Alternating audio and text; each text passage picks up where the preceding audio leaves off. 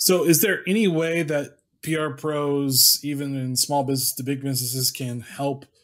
I guess get away from that cancel culture. Because I'm pretty sure businesses are like, okay, sorry, whatever, whatever, we'll do whatever you say. It's almost like a hostage situation well, between it's, it's, a group I, of people. I, I, love that question because it's, it's such a unique environment. We're in an environment where employees, you know, obviously the employment market is a big story right now. Um, we are in an, an employee-driven market now. To to attract these new breed of employees, they want businesses to take social stands.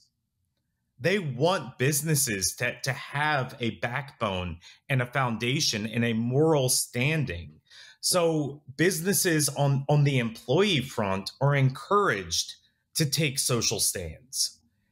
But on the social media side and, and, and, the cancel culture side, it's dangerous and it's it's very complicated. There is not a formula for how to do this well.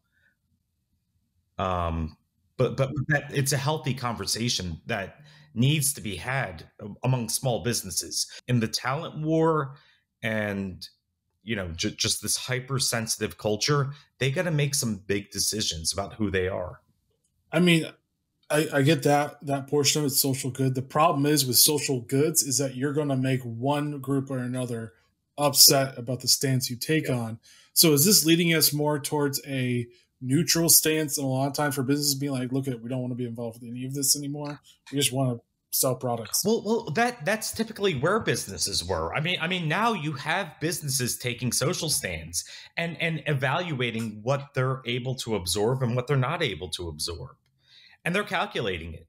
They're talking to legal. They're talk. I hope they're talking to their PR teams, you know, before putting these stances out. Um, but but no, I mean I mean this is th- th- this is real. Um, you know, the the new employment market they want companies who have you know philosophical alignment and and moral alignment with with certain big causes that they believe in um so yes are, are you going to turn customers and and potential employees off when you take a big stand absolutely um, but you're not going to get the, you're not going to get the good clients and, and, and the good employees if you don't. That's kind of where we're at right now.